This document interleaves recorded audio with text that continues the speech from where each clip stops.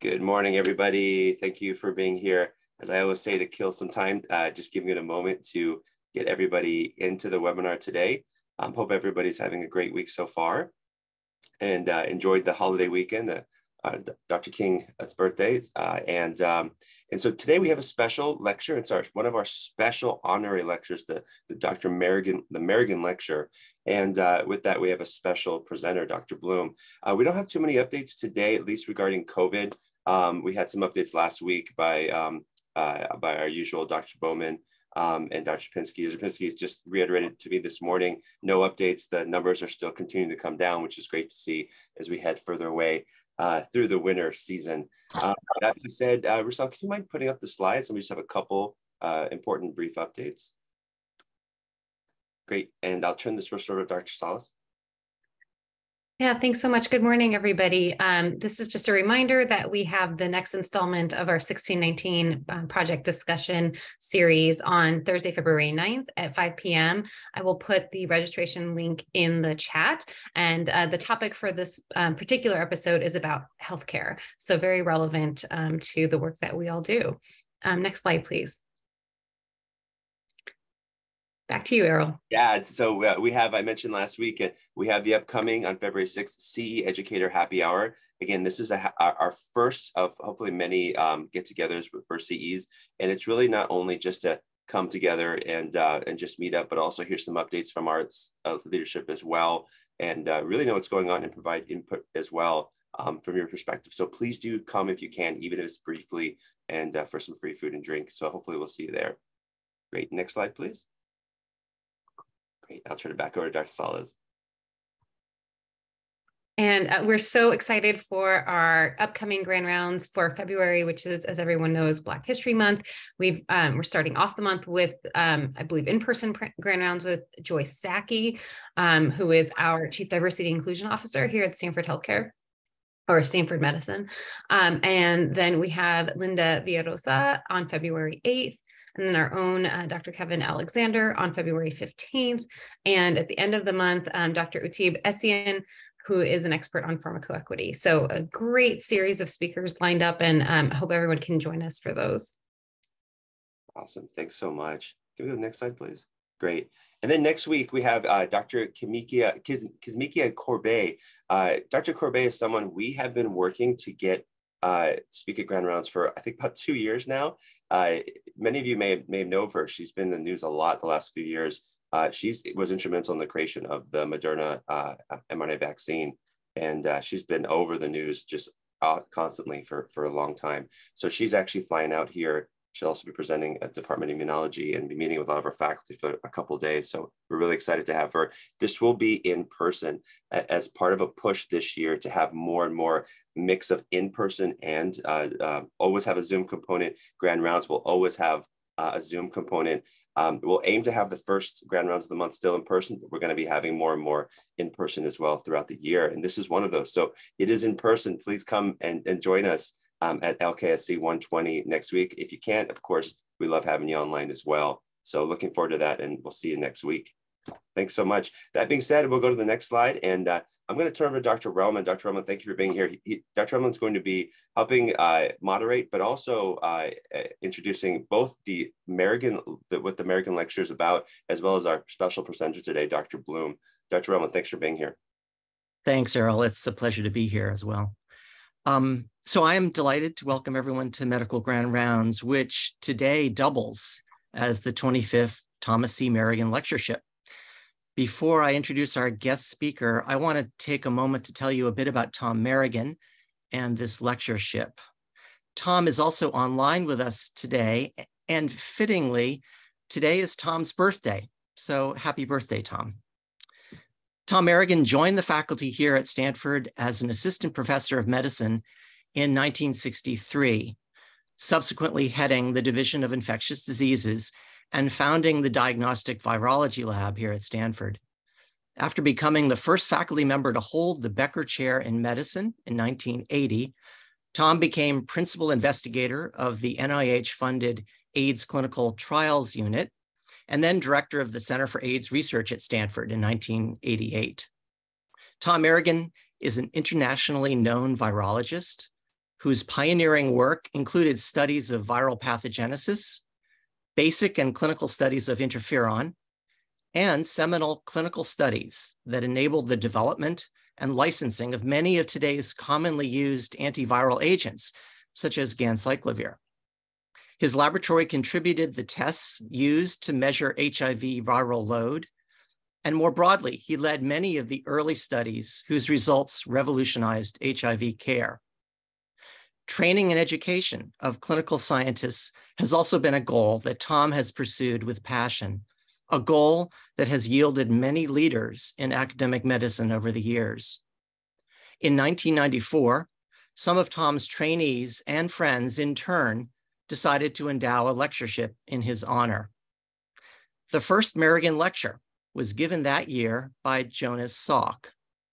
Every year since then, the lectureship has brought a renowned scientist to Stanford who, like Tom, has devoted their professional life to understanding the interface between, the, between infectious diseases, the host, and their environment.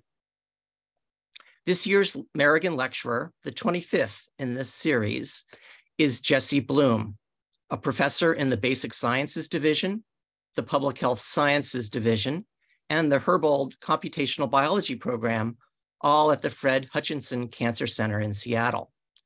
He is also an investigator of the Howard Hughes Medical Institute and an affiliate professor in the departments of genome sciences and microbiology at the University of Washington.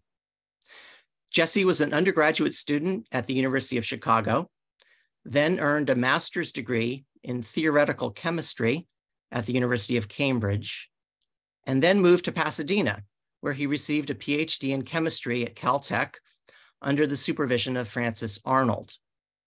He stayed at Caltech as a postdoc in David Baltimore's lab, and then took a position at the Fred Hutch and the University of Washington in 2011 where he has pursued his career. Jesse and his research group study the evolution of proteins and viruses with a special focus on influenza and SARS-CoV-2. They use a mix of experimental and computational approaches to gain insight into how viruses evolve in the face of different selection pressures and to understand the public health consequences of viral genetic variation. His group has sought to understand how viral mutations inform virus fitness and the outcome of infection. They have shown that each infected human harbors a diverse population of virus variants with different properties and fates. And they have developed computational models to predict possible future evolutionary paths for rapidly changing viruses like influenza and SARS-CoV-2. In a crowded and frenzied world of research on SARS CoV 2 and COVID, Jesse has stood out as one of the most creative and insightful investigators at the leading edge. In closing, a few other brief observations. Jesse has demonstrated unusual skill in writing for and educating the public about SARS CoV 2 and COVID in the form of opinion pieces in the New York Times and other major media outlets. He has also plays, played an important role in advancing public policy on the oversight of risky research and in calling for a balanced, open, and dispassionate investigation of COVID origins. I count Jesse as one of the relatively few scientists who is willing to follow the science wherever it might lead and to speak truth to power, even when the consequences are potentially dire for one's own personal interests. For all of these reasons, I can think of no better person to carry on the tradition of the Merrigan Lectureship. Jesse. Okay, thank you for the kind introduction, and it's a real honor to be able to give uh, this lecture today. I'm posting the link to my slides in the chat. Hopefully people can see that. Uh, and today I'm going to be talking about interpreting the evolution of SARS coronavirus 2. So as I mentioned, the link to these slides is available right here, and I just posted it in the chat. Uh, my disclosures, I'm on the scientific advisory boards of A Priori Bio, Arium, and Vivid Vaccine Company and Oncorus, and I'm an inventor on Fred Hutch licensed patents related to deep mutational scanning of viral proteins. So today I'm going to break my talk into three main parts. First, I'm going to talk about some of the conceptual principles of viral antigenic evolution. Then I'm going to talk about this really important protein domain called the receptor binding domain of SARS coronavirus 2. And then I'm going to talk about understanding the evolution of this protein domain and the implications it's had over the last few years. And I'd like to mention that after the end of each of these three sections, I'll sort of look at the Q&A box and, uh, you know, answer any questions that are there. So if you have questions as I'm giving the chat, the talk, please just enter them in the Q&A box uh, as they come to mind. Okay, so first I'd like to give some conceptual principles on viral antigenic evolution. So this is a uh, study written by the Danish physician Peter Ludwig Panem, uh, and it's called Observations Made During the Epidemic of Measles on the Faroe Islands in the year 1846. And so if you read this treatise, uh, you'll find that Peter Panem uh, does not follow the advice that we give people nowadays, which is to get to the point in their scientific papers because the first about a dozen pages of this article are about how the Faroe Islands are these harsh and beautiful islands located here in the North Atlantic and, and how, you know, all of his observations of what they look like and so on. But eventually he gets to the point of why in 1846 he'd gone to the Faroe Islands. So the Faroe Islands are fairly isolated from mainland Europe, and particularly in 1846, there was relatively limited travel between the rest of Europe and those islands. But as Panem describes, measles had not prevailed on the Faroes since 1781, and then it broke out early in 1846, so after a 65 year absence. So, what Peter Panem did is he went around the island and saw what happened during this outbreak. And he found that of the 7,782 people he lived on the island, about 6,000 of them came down with measles.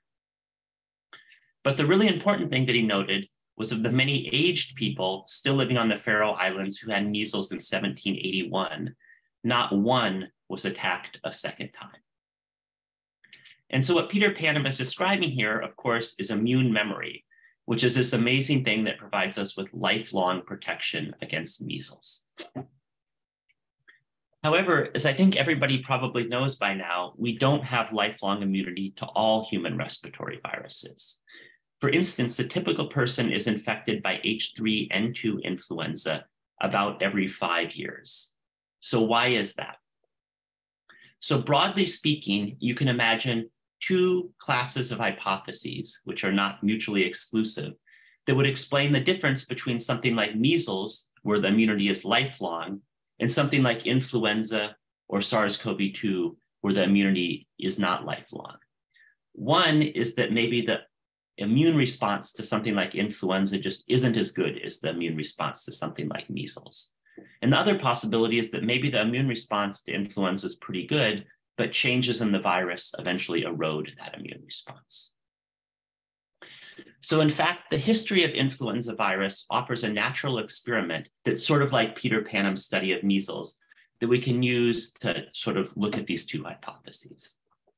So here's the history of human uh, influenza. It's thought that influenza viruses have been jumping into humans for many centuries, but the first virus that we know about was the virus that caused this 1918 pandemic, which was very devastating. But after 1918, that virus did not disappear. It kept circulating in the human population, evolving a little bit year to year, and infecting the typical person maybe about every five years. That process continued for several decades. Then in 1957, a new strain jumped into humans displaced that H1N1, and then it kept evolving a little bit year by year, reinfecting people. Then the same thing happened again in 1968, and that strain is still circulating in humans, evolving a little bit year to year, and infecting a typical person about every five years.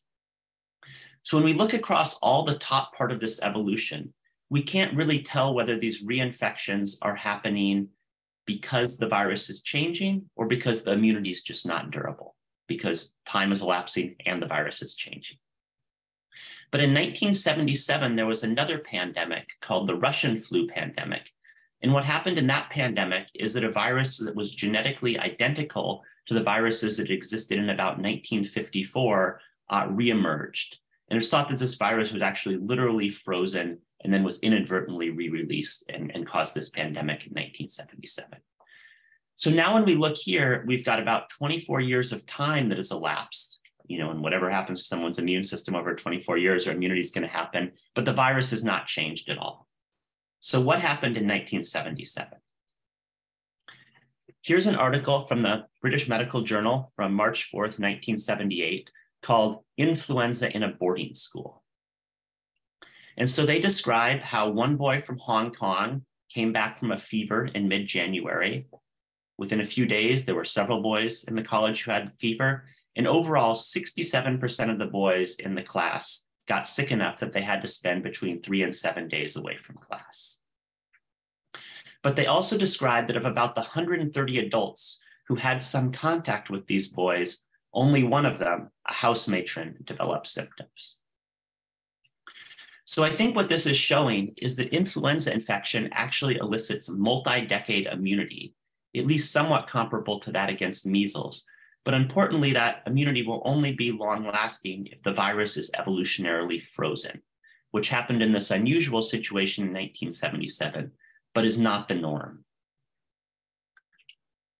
And so I like to think of placing human RNA respiratory viruses on a sort of continuum. You have some viruses like measles, which undergo very slow evolution to escape from our antibody immunity. So we basically have lifelong protection. We have others like influenza that undergo rapid evolution to escape from this immunity. And so that affection, uh, immunity is not going to last for your entire life.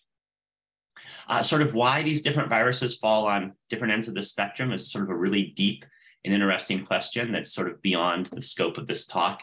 I put a link here for, for some possible explanations. But what I want to focus on instead is a sort of more tangible question, which is where do human coronaviruses fall on this spectrum? And so some of you may remember back to three years ago, uh, early in the SARS-CoV-2 pandemic, a lot of people were actually speculating that coronaviruses would exist over here on the left end of the spectrum. So here's an article from the Washington Post entitled, The Coronavirus Isn't Mutating Quickly, suggesting a vaccine would offer lasting protection. However, in our group, we were sort of skeptical that these coronaviruses would behave like measles viruses. And the reason is that we'd been studying other human coronaviruses, or at least reading about other human coronaviruses because there's a number of coronaviruses, including one called coronavirus 229E, that cause common colds and have been circulating in humans for a long time. And these common cold coronaviruses typically infect a given person maybe about every three years. So what we did is we first inferred a phylogenetic tree of the spike protein of coronavirus 229E. So the spike is the thing on the outside of these coronaviruses that's recognized by neutralizing antibodies. So the older sequences of coronavirus 229E from the early 1980s are here on the left, and the more recent sequences from the last few years are here on the right. And time is on this x-axis or horizontal dimension. And so there's a couple of things I want you to note. First of all, this tree has what's called a ladder-like shape. So there's one major lineage that persists through time and there's lots of other variants that are on these short branches, which mean they die out. And I'll return to what that means in a broader sense in a minute. But one feature of a virus that has this sort of ladder-like tree is that where you are on the x-axis, so where you are in time, is a pretty good indication of where you are in genetic space. So we've simply picked spiked proteins at eight-year intervals across this tree, synthesized those genes, and used them to generate spike pseudotyped viral particles that we could study in the lab. We then did a really simple experiment. We took an old human serum sample collected in 1985, and we asked how well could the antibodies in that serum neutralize viruses with spikes from these different years. So on the x-axis here is the year in which the spike was uh, isolated, and on the y-axis is the neutralization titer. And a larger number means the antibodies can better neutralize viral infection. So you can see this serum from 1985 can neutralize a recent past virus, the one from 1984, quite well. But if you look into the future from 1985, you can see that the evolution of the virus is eroding the ability of these antibodies to neutralize infection. This is showing that coronavirus 229E is evolving to escape from these antibodies, similar to what we would see for influenza virus and different from what we would see for something like measles virus. We've also done this uh, experiment for a number of different old human serum samples. Here I'm just showing a few examples. And one of the things I want you to note is that the evolution of the virus always erodes the antibody immunity. But some people are making antibodies with specificities such that after eight or so years of virus evolution, they have no ability to neutralize the new viruses anymore. Others kind of have a gradual decline. And some individuals, like this person, are actually making antibodies that stand up quite well to viral evolution, where it's taking decades for the coronavirus to really erode this neutralization. And I think the existence of these person to person differences is really interesting and important to understand because you can imagine if you were to try to make a coronavirus vaccine, you would ideally like it to elicit antibodies like the one that this person over here is naturally making that stand up quite well to viral evolution. Okay, so this shows that these coronaviruses evolve antigenically.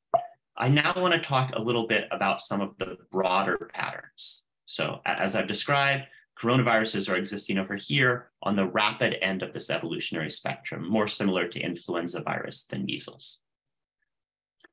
But what are the patterns that that evolution takes? So we can also look at the shape of these viral phylogenetic trees. So the coronavirus 229E phylogenetic tree looks like this. At any given time, there may be several different viral variants, but all the viral variants die out except one of them, which persists and give rise to new viral variants. Again, all of them die out except for one that persists and so on. And you get this ladder-like tree. Another way of saying this is that the virus is changing rapidly over time, but has low standing genetic diversity. This is also how human influenza A virus evolves. And when a virus evolves in this fashion, it's at least theoretically possible to use a vaccine strategy where you sort of pick a strain that will represent the viruses that are going to be there in the future. You know, th there's no guarantee that you'll actually be able to pick that strain successfully, but at least that strategy could work in theory.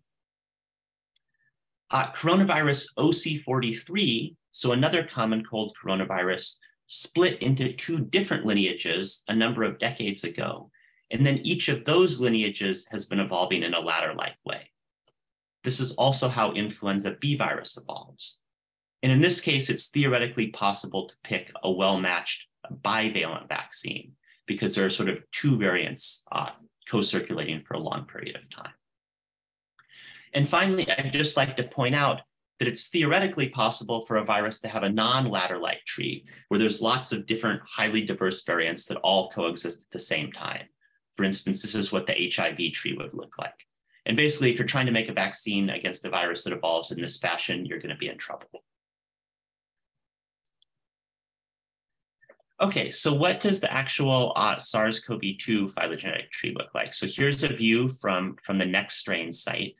Uh, and you can see the patterns of SARS-CoV-2 evolution over the last three years. So early on, we had this major variant emerge called alpha.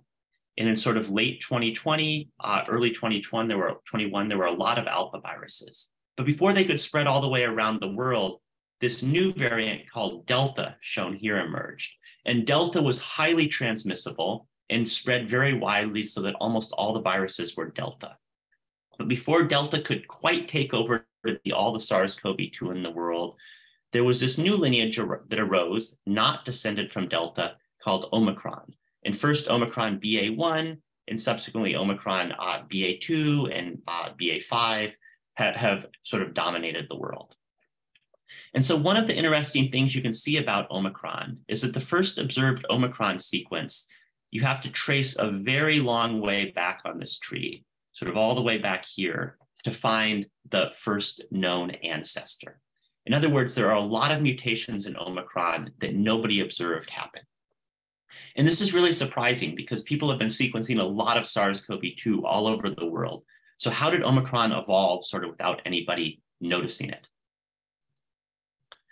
So I want to address this question, how did Omicron acquire so many mutations with no sampled evolutionary intermediates? So there's this principle in evolutionary biology called the molecular clock, which actually goes back to Linus Pauling and Emil Zuckerkandl at Caltech in the 1960s. And the molecular clock is just the idea that if you look at the evolution of a gene or a genome or a protein or whatever, the number of mutations you have, shown here on the y-axis, should be proportional to the amount of time the thing has been evolving. So if we look at all of the mutations in SARS-CoV-2 in all of the clades that existed prior to Omicron, we can see they're nicely following this molecular clock. However, if we look at the Omicron clades, we can see that the Omicron clades are above uh, this molecular clock line. So essentially, Omicron has more mutations in it than you would expect for a virus of its age. And so we can now try to understand what those mutations are to gain insight into how Omicron evolved. So here I'm showing all of the nucleotide mutations in the genome. If we instead go and we just show the synonymous mutations, we can now see that Omicron roughly falls on the molecular clock. Things are a bit more spread out because the counts are lower, there's more noise, but there's no systematic trend for Omicron to have excess synonymous mutations. This shows that Omicron did not evolve by having a higher mutation rate, because if it had a higher mutation rate, it would have more synonymous mutations as well as more amino acid mutations. We can also look at the amino acid mutations in Omicron everywhere except in the spike protein. And recall the spike is the part of this virus that's targeted by antibodies. And if we look at these non-spike amino acid mutations, we can see that Omicron is also following the molecular clock. Uh, however, just one second, to my daughter leave Alice. I'm giving a talk, so we're going to do. Uh, sorry about that. Uh, however, if we look at just the spike amino acid mutations, we can see that Omicron has about twice as many spike amino acid mutations as you'd expect for a virus of its age. So the evolutionary process that gave rise to Omicron was specifically enriching for amino acid mutations in the spike. And in fact, we know the type of process that does this. Excess antibody escape mutations in spike are characteristic of viruses that evolve in chronic human infections. And to explain why that is, normally during viral transmission and sort of typical acute infections, some individual uh, is infected with a virus and they will generate mutant viruses. However, the duration of the typical acute infection is short. So before any of these mutants can spread widely, the person transmits to other individuals. And this transmission is characterized by narrow bottlenecks, which tend to lead to the stochastic loss of beneficial antibody escape mutations.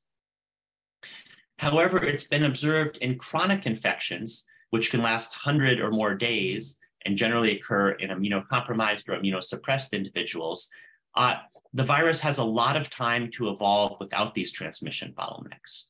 So beneficial antibody escape mutations in spike can appear and go to fixation, and this can happen repeatedly and can lead to a large excess of mutations in spike. And that appears to be the process by which Omicron emerged.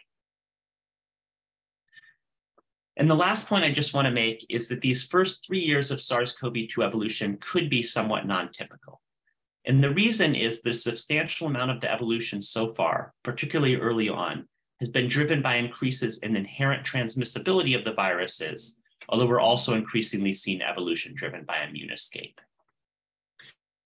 Based on what we know about other human endemic viruses, we expect that the inherent transmissibility of SARS-CoV-2 will eventually plateau and then the ongoing evolution of the virus will be mostly to escape immunity. So some of the increased transmissibility aspects of SARS-CoV-2 evolution may be transient features of the first few years. Okay, so that sort of ends the first part of the talk. I'm just gonna look quickly at the Q&A and see if there's any questions. Uh, no questions, so I'll go on uh, to, the, to the next part, which is now I wanna talk about the SARS-CoV-2 receptor binding domain, or RBD. So if we look at the long-term evolution of coronavirus 229E, we can look to see what part of this spike protein is really evolving the most rapidly. So the spike is divided into an S1 and an S2 domain, which are broadly involved in receptor binding and membrane fusion. And then within the S1 domain, there's an N-terminal domain and there's a receptor binding domain. Below this schematic, I've plotted where uh, amino acid mutations have occurred during the last four decades of coronavirus 229E evolution. And you can see that the mutations are concentrated in the S1 domain, and they're particularly in the receptor binding domain. So that's the last four decades of coronavirus 229E. What about the last three years of SARS-CoV-2 evolution? So now I'm showing a schematic of the SARS-CoV-2 spike, which is similar in overall principles to the coronavirus 229E spike. And I'm showing where there are mutations in the new Omicron BQ.1.1 variant relative to the early Wuhan HU1 virus. And again, you can see the amino acid mutations are mostly in the S1 domain, and they're especially concentrated in the receptor binding domain. So clearly the evolutionary selection on both uh, human endemic coronaviruses and SARS-CoV-2 is most strongly favoring the fixation of mutations in the receptor binding domain. And so this evolutionary observation is concordant with an experimental observation, which is that the majority of the neutralizing antibody response in both vaccinated and infected humans targets the receptor binding domain. So here what we've done is we've taken serum from either vaccinated or previously infected individuals, and then we've measured the neutralization titer. That's sort of what's shown here on the left.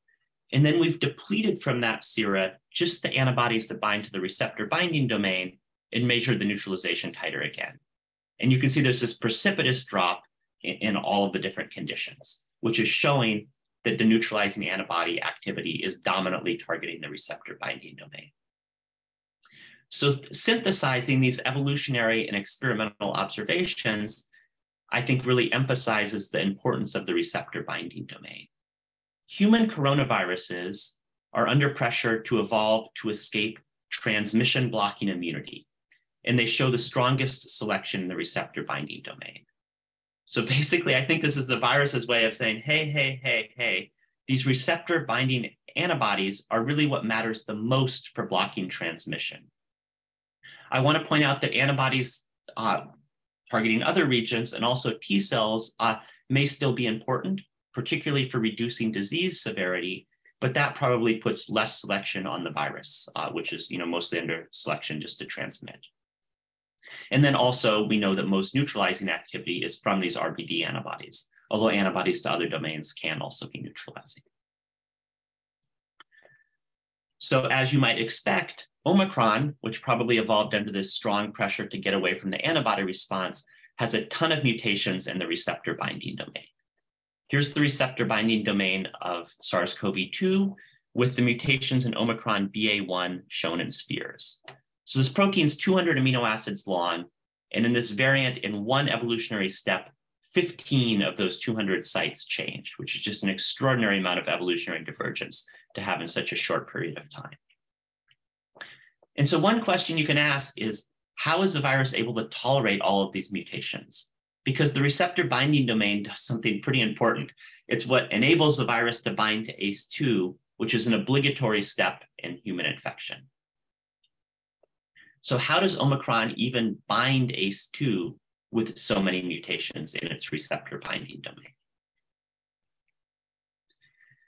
So to answer this question, we've developed this deep mutational scanning platform to understand the effects of mutations to the receptor binding domain. So basically what we do is we take the receptor binding domain and simply display it on the surface of yeast. And then we can incubate these yeast with something like ACE2 that's fluorescently labeled, and the yeast will become fluorescent proportional to how well the receptor binding domain can bind to this ACE2. And then we can just sort the yeast using a flow cytometer based on how fluorescent they are. So this is basically a way to use a flow cytometer or a, a cell sorting machine to do biochemistry.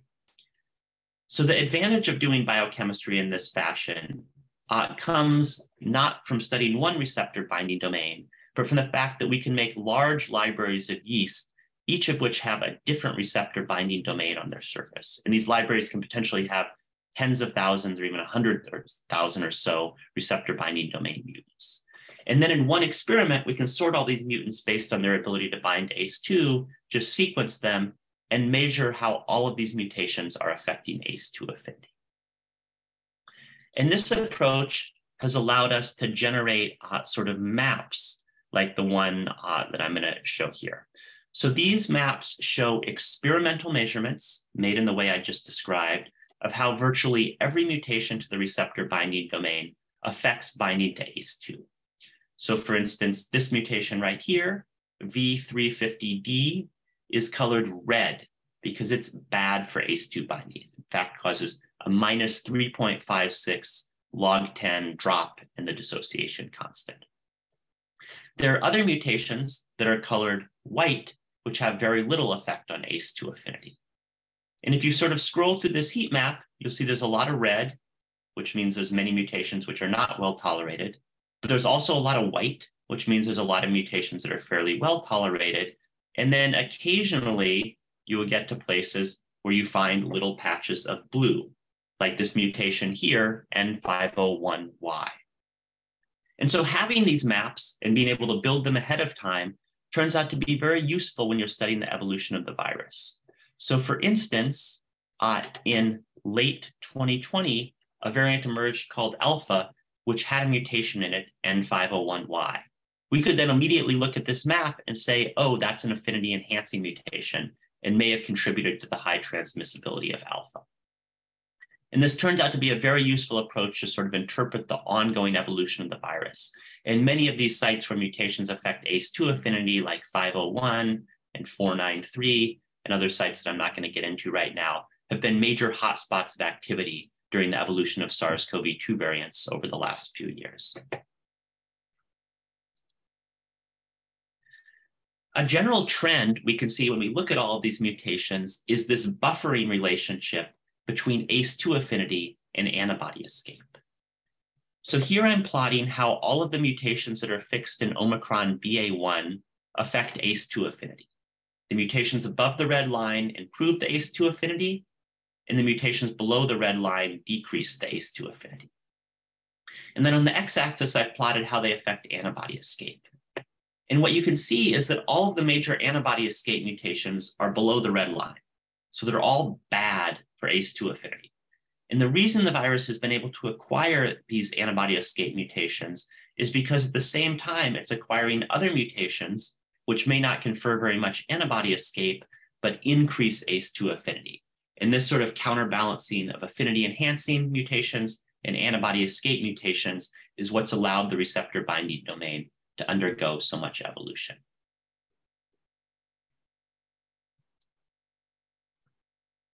And then the last point I want to make is that this process is extremely unlikely, in my view, to stop anytime soon.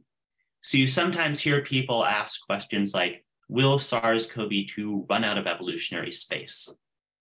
And I would just point out that running out of evolutionary space is not something that's really ever been observed for any rapidly evolving virus ever. So for instance, if you look at coronavirus 229E in its receptor binding domain, over the last 50 years, the vast majority, 25 of 31 of the residues that contact receptor have varied. And from the types of experiments I was just describing, we know there's lots of mutations to the SARS-CoV-2 receptor binding domain that retain and sometimes even enhance ACE2 affinity. So many of the evolutionary patterns I was describing are going to continue for the rest of our lives. And this is just going to be an antigenically variable virus like influenza virus or common cold coronaviruses. Okay, so that's sort of the second part of my talk, the importance of the receptor binding domain. Uh, I'll just see if I can refine my mouse here, just see if there's any questions. Uh, okay, still no questions. So I'll, I'll go ahead and keep going. Uh, and so uh, actually maybe one question popped up. Okay, so the question is, in studies of RBD mutations in affinity co uh, coefficients, what lab biosafety levels are needed to prevent possible escape of engineered mutations, yeast plasmids, et cetera. Uh, so basically, the types of experiments I'm describing, the yeast display or the pseudovirus experiments, pose no direct uh, biosafety hazards. So uh, escape of those things is not really a concern because they're not fully infectious viruses. The, the relevant uh, biosafety uh, you know, concern would be whether the uh, mutations are introduced into an actual replication competent virus by, by someone else. Uh, with the evolving of the RBD, do we want a vaccine that targets another location? That's a great question. Uh, and people are exploring whether it would be possible to generate a vaccine that retargets the neutralizing antibodies to other domains. However, this is very difficult to do. Uh, it's, it's not necessarily easy to make the immune system retarget where it generates antibodies. And it's also unknown whether antibodies to other domains will be as potent. So this is an active area of research. Uh, I think it's an important question, but I can't offer an answer on whether or not it will be possible.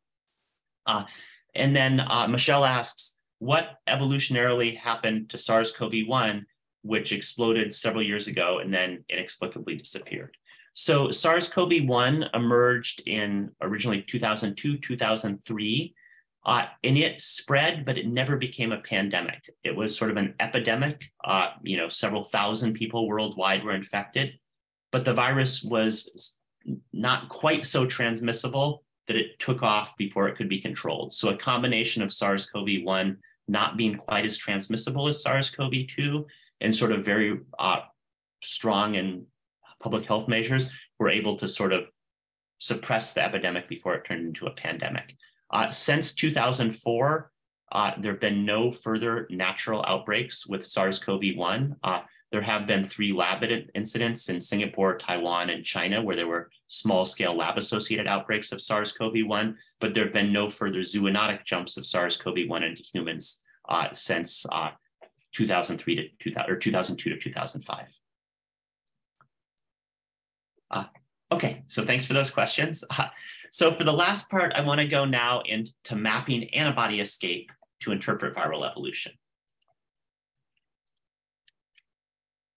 Uh, so I was describing how we can use this yeast display system to understand how mutations affect binding to ACE2. We can also use the same system to understand how mutations affect binding by antibodies. So we basically just take these receptor binding domains, incubate them with antibodies, and see which ones uh, don't bind the antibody anymore. And this allows us to map how all mutations affect binding by any given antibody.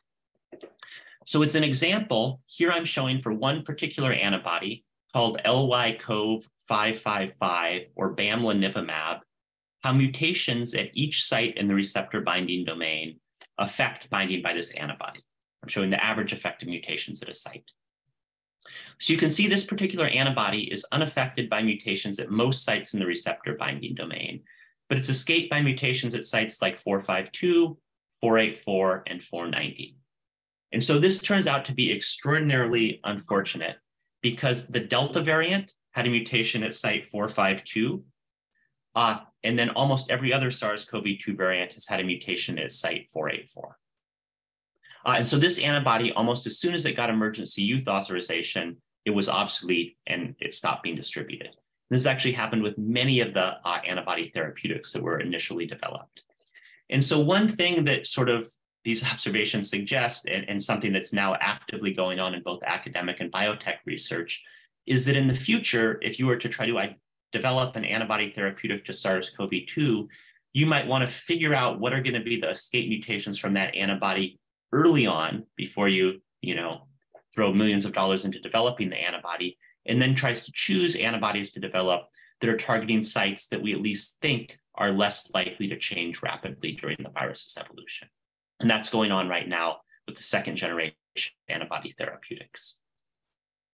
But what I really want to focus on and what's of greatest interest uh, to our lab is what about polyclonal antibodies? And just to make the point really clear, uh, a monoclonal antibody is like a single antibody species, which is usually nowadays produced recombinantly that you know a company might make, and it binds to one part of the virus. And if the virus gets a mutation where the monoclonal antibody binds, it usually doesn't bind anymore. However, the human immune system makes a polyclonal antibody response, which basically consists of a very large number of different monoclonal antibodies. And these polyclonal antibodies can at least potentially bind to many regions of the virus. So even if the virus gets a mutation in one region, the antibodies sort of uh, will still be binding to other regions. And this means that the polyclonal antibody response is going to be less affected by any single mutation. So it's important to then know where do these polyclonal antibodies actually bind? And so I'm going to now illustrate these experimental measurements uh, that we've developed and then other groups have developed using the techniques I described to figure out where these polyclonal antibodies are binding and how mutations might affect that. So to understand how I'm representing these data, first just imagine we only had three antibodies. Let's imagine humans only made three antibodies, the pink one, the purple one, and the blue one. And if for each of these antibodies, we measure where it binds in the virus, shown here in the pink, the blue, and the purple curves, you can kind of get a sense of the overall binding profile of that antibody by just averaging these together, which gives you the black line.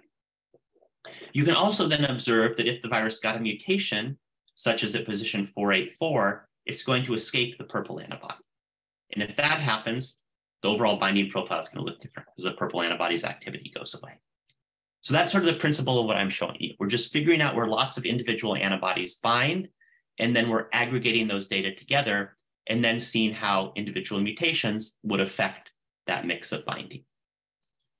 And so the reason this is uh, powerful is over about the first uh, year and a half of the pandemic, uh, Tyler Starr and Ali Greeny in our group were able to make these complete maps of antibody escape for 36 different antibodies.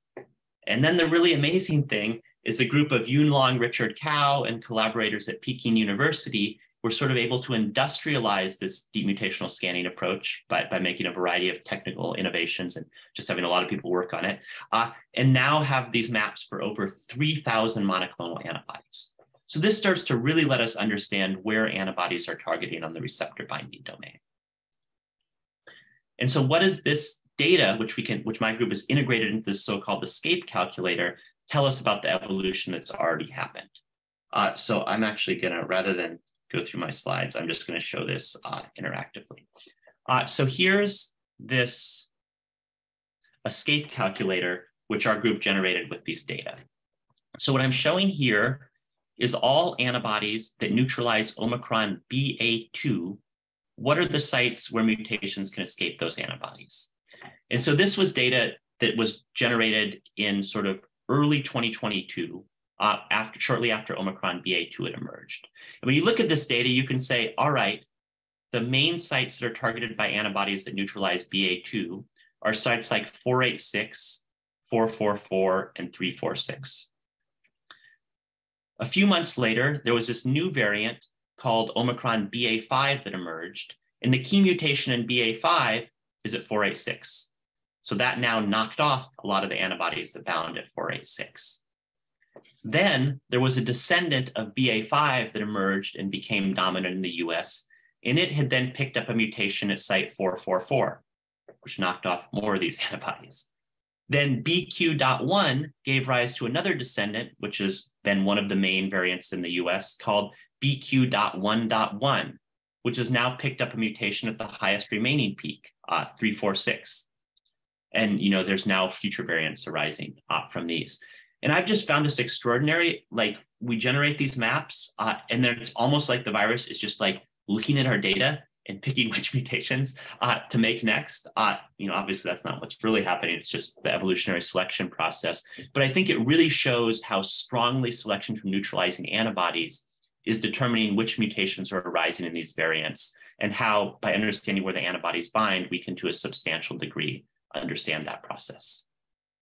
Uh, Okay, so the next few slides just kind of show what I showed uh, sort of uh, in a, in a non-interactive form for anyone who goes to the slides.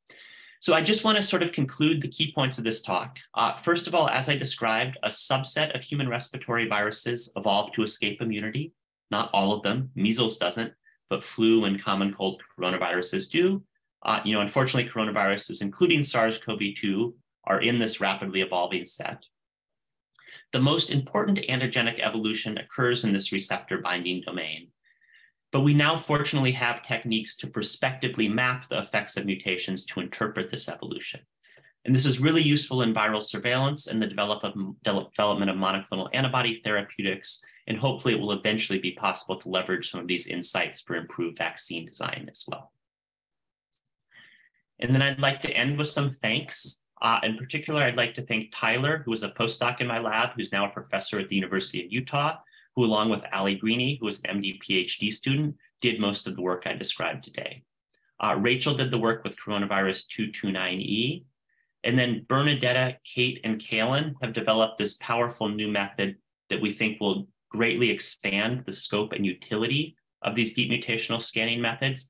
And I'll describe that new approach uh, tomorrow, I think at 4 p.m. for the infectious diseases grand rounds.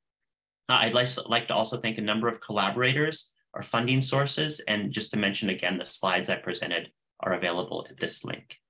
And I'm now happy to take questions. Uh, and unless anybody interrupts me and tells me otherwise, I'm planning on just taking those questions by looking in the Q&A box. Jesse, let me just um, let me just say that was an amazing talk. Um, it was clear, it was engaging, it was sobering, it was inspiring. All these things. Um, before we... at least it wasn't uh, mind numbing. I just I just go for not mind numbing is my goal, but uh... that you achieved. Um, yeah. Before we go to the Q and A, I just want to give Tom Merrigan, if he would like, um, an opportunity to ask a question. It is, after all, um, a lectureship in his honor, and it's his birthday. So, Tom, if you are able to activate your video, eh, or at least the the audio, love to hear if you have a, a question you'd like to ask Jesse before we turn to the Q and A. Okay, I am unmuted. I think. Can you hear me? Hear you. Yes, we can hear you. Well, I I think that uh, this has been a very powerful presentation of the kind of methodology it takes to get at what is inter- what is the interaction between the virus and the host, and uh, this kind of objective uh, scientific work is obviously the way we will control the virus in the long run, and uh, antibodies might be the first, but I think the vaccines will follow in being influenced by this kind of work. Uh, I have another thing though. We're in a real world, and I remember in that world with HIV, uh, I remember debating uh, whether the virus was being causing the infection with the Minister of uh, Health in uh, South Africa, and the country was just not getting what the right advice as far as how to handle infected people and how to stop the spread of the virus. But Eh, you know, political factors controlled the application of the findings of scientists. And I think we live in a world where that's happening here. And whether it's uh, uh, the Chinese premier uh, lifting the no COVID and never having and not, and not accepting vaccine from the rest of the world, which works. Uh, so his population will be the first population to be exposed to the ferocity of the virus without having any previous immunity. Uh, it's a, a, very difficult situation we have. And we have American deniers of science in, in this area. Uh, the, uh, for example, the governor of Florida. Uh, and, and I think these kind of things come in and upset the application of these beautiful scientific insights we have. And I'm sure uh, our speaker has his response to that because he he sees it up close uh, as to whether the things that follow readily from his findings are rapidly developed or not, for example. But why don't I turn it over to him? I'm, I'm bringing up the political consequences of the virus and, and the need for uh, having understanding politicians who can implement science in a good way?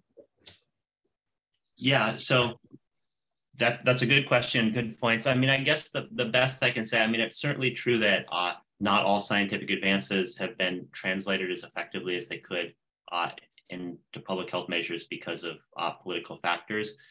You know, I think as scientists, like my view is the best we can do is try to, you know, do high quality science and try to communicate that is is clearly uh, and as straightforwardly as possible.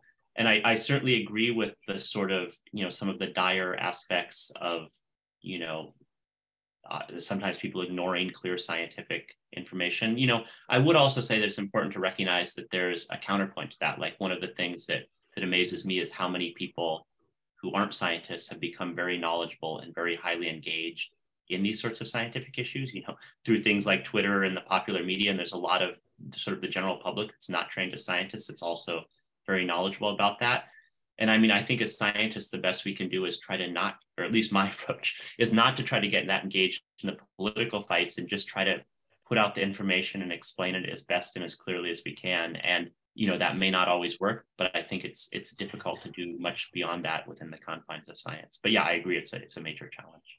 Well, I think it's wonderful that you have concentrated on being able to communicate to the general public uh, what's going on here. So that isn't just a scientist speaking to scientists, but you thought this is important and you have uh, watered down or at least made it more easily understandable to the general public. And, and I think that's a very important part of your function. And I enjoyed the fact that it was here in these grand rounds because grand rounds is not, uh, is, is talking to non-specialists in the area. And you really need to have a simple, clear uh, story to be telling rather than all the complexities you might be presented with. Yeah. So, so thank you for the question. Uh, and now I'll, I'll, get to a few questions in the chat. So one, uh, Jill Chu's question, will dangerous SARS-CoV-2 variants emerge from poor countries with large, large immunosuppressed populations due to poor control of HIV? Uh, potentially, although that said, you know, when we look uh, over what's happened so far, the major SARS-CoV-2 variants we've seen have emerged in a number of different uh, geographical locations. I mean, you know, unfortunately, there's a lot of SARS-CoV-2 infected people and a lot of immunosuppressed individuals all over the world. So, yeah, I, I certainly think that that's one place they can emerge, but I don't know if that's a much higher risk than than other regions. Uh, and it's important to emphasize that Omicron almost certainly evolved in a chronically infected individual, but some of that subsequent evolution, like the evolution of BQ.1.1, probably happened during normal acute transmissions because all the evolutionary intermediates were observed. Uh, M. Nasca asks, what's the fastest mutating virus ever known to humans? Uh, the virus with the highest mutation rate, it's probably something like HIV, but I want to emphasize actually that mutation rate, so how fast like mutations just arise when the virus is copying its genome, is not the same as evolution in terms of adaptive changes. So one of the reasons that many people early on argued that SARS-CoV-2 would not evolve to escape antibodies is its underlying mutation rate in terms of how often it makes mistakes is actually lower than some other human RNA respiratory viruses.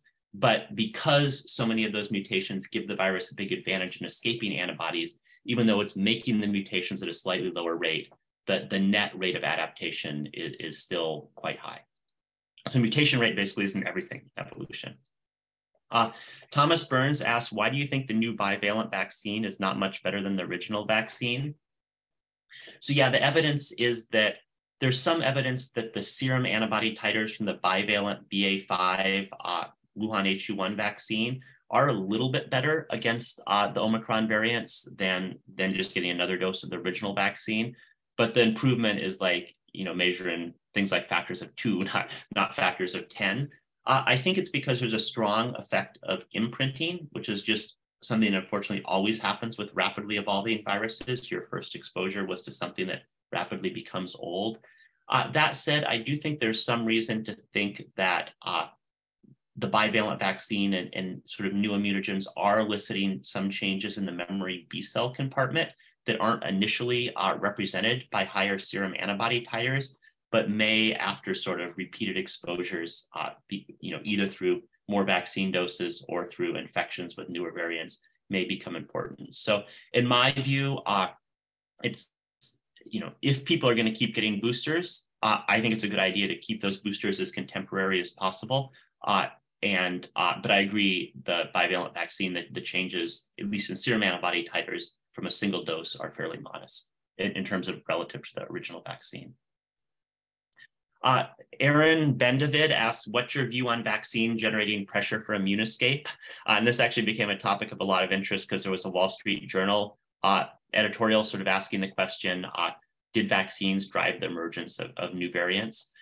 I actually think vaccines probably uh, at, at a net level at steady state play very little role in increasing the rate of viral antigenic evolution because the truth is unless a country is taking draconian measures like china was and now nobody is uh, people basically end up with immunity to these viruses one way or the other. If you don't get vaccinated you're going to get infected.